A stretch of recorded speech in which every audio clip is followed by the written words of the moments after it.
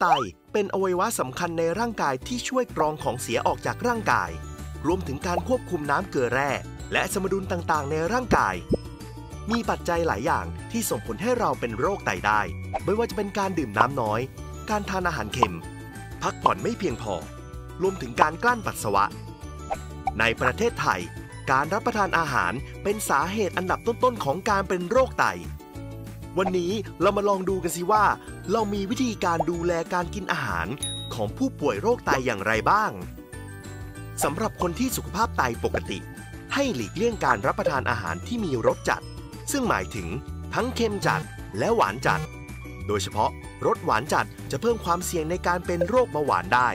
ในส่วนของอาหารรสเค็มจัดนั้นจะทำให้เราเป็นความดันโลหิตสูงได้ ควรออกกำลังกายอย่างสม่ำเสมอ หากิจกรรม หรือวิธีการคลายกังวลจากความเครียดในชีวิตประจำวัน นอนหลับพักผ่อนอย่างน้อย 6-8 ชั่วโมง หลีกเลี่ยงกลุ่มยาแก้ปวดเอนเซดหรือยาสมุนไพรบางชนิด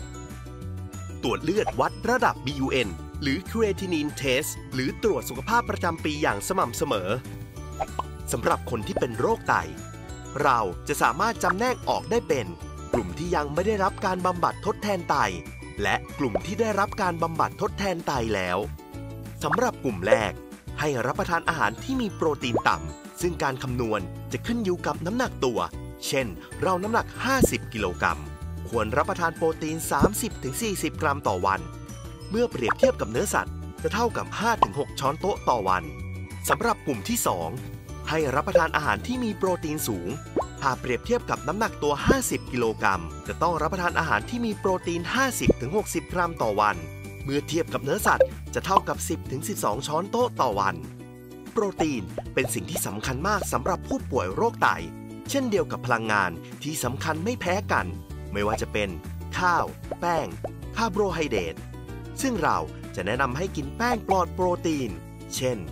สาคู วุ้นเส้น เส้นเซี่ยงไฮ้ ที่ให้พลังงานสูง และโปรตีนต่ำ ในส่วนของผักและผลไม้สามารถทานได้ปกติ แต่ต้องดูค่าระดับเกลือแร่ในเลือดประกอบกันไปด้วย หากมีค่าโพแทสเซียมปกติ ก็สามารถทานกล้วยหรือส้มได้ครั้งละหนึ่งลูก แต่หากมีค่าโพแทสเซียมสูง ก็แนะนำให้กินแอปเปิลชมพู่ซึ่งเป็นผลไม้ที่มีโพแทสเซียมต่ำถึงปานกลาง ทั้งนี้โภชนะบำบัดสำหรับผู้ป่วยโรคไต เราจะต้องปรับเปลี่ยนไปตามผลเลือดว่าในแต่ละช่วงนั้น มีค่าเลือดเป็นอย่างไร ทางที่ดีเราก็ควรหมั่นใส่ใจเรื่องอาหารการกิน ไม่ว่าเราจะเป็นโรคไตเอง หรือไม่เป็นก็ตาม เพื่อสุขภาพกายและสุขภาพใจที่ดีนะครับ